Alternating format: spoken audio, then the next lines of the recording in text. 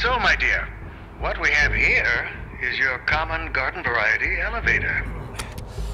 Remember that little remark of yours about me taking the country on an elevator ride straight to hell?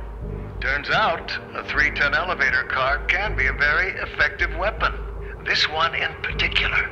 And forgive me this momentary lack of class, but I must. You screwed me. So screw you.